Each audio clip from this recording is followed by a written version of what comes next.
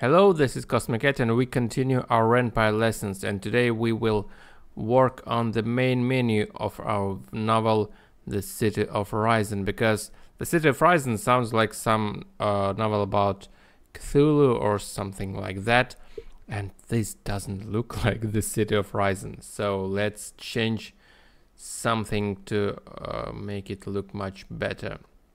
First I don't like this blue color and these light panels because it should be more horror like so we can go to the main menu of Ren'Py and click change update GUI here I will choose new colors then regenerate image files. So we will uh, completely change uh, our standard UI let's continue and let's choose different color scheme. Of course, we can uh, manually change all the colors, but I want to select the base color scheme for now. So I like this dark and uh, greeny uh, colors. So let's continue.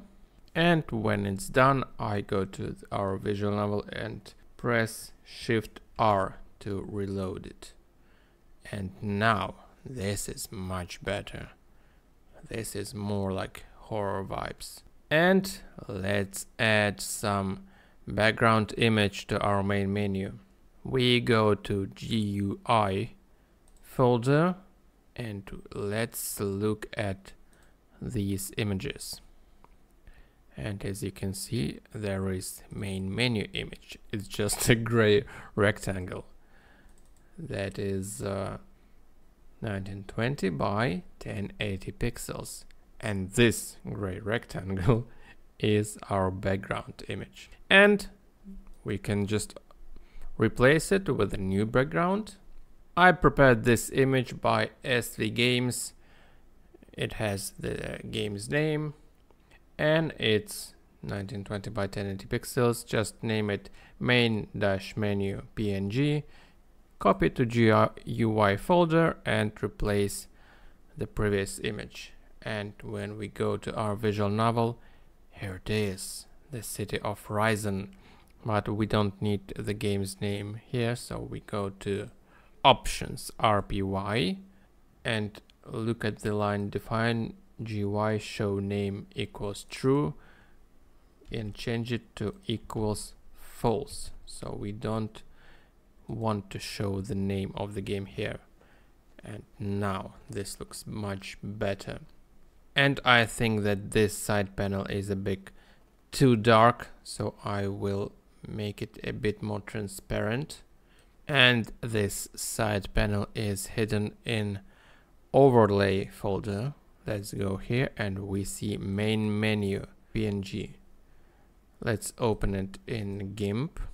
We see our transparent side panel and to make it more transparent we change the opacity of the whole layer like this.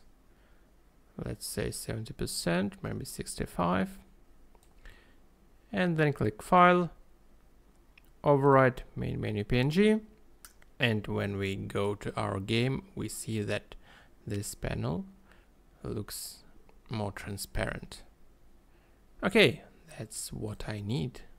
Then let's start the game. I haven't changed the game yet and when I go to the menu we see this boring gray background and I want to change it too. And this boring gray background is this file, game menu png. Just replace it with my image. It's an image of Cthulhu underwater and well we uh, can see him very well. That's because there is another overlay over this uh, background image and we want to make it more transparent too. Let's go to overlay folder again and we see game menu png open it in gimp and mm, let's make it more transparent again. File override game menu. And now we see our beautiful Cthulhu in the game. That is much, much better. Great. What else can we add in the main menu? Well, we can add music because now our game is completely silent. So let's add music in the main menu. Let's go to options RPY again and let's search the line that says define config main menu music. And we see that it's commented. So we uncomment this line. And now it says defined config main menu music is main menu theme dot ogg so our music file should be named like this. But I have a music file that is in WAV WAV format so I need to make it OGG and we can do this with Audacity. It's completely free software that you can use to change formats of your audio files. Let's put our scary horror ambience in Audacity, file, export audio, export to computer, and format we choose ogg vorbis file. Just press export and we have our scary horror ambience number 5 OGG but we should rename it main menu theme OGG and then copy this file to our games folder right here and now let's open our game and now we can hear our beautiful scary ambience in the main menu. Now this game really looks like the city of Horizon, yeah. That's much better. But there is one last thing I must and should do. I should go to options RPY again. And here, where I have written music by Mandalina della Balalaika, I must specify the real author of this music. This uh, horror ambience was made by NDSV, so I write music by NDSV and I think you should credit everyone that uh, worked on your novel. So NDSV made this track.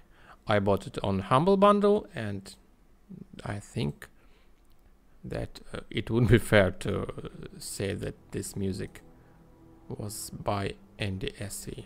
So now we are ready to start working on the city of Horizon. So thank you and that's all for today. Till the next time.